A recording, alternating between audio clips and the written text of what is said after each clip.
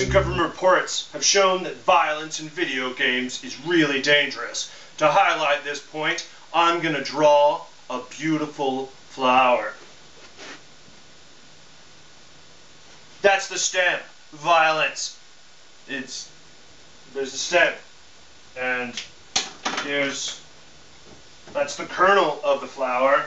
And then you have your petals.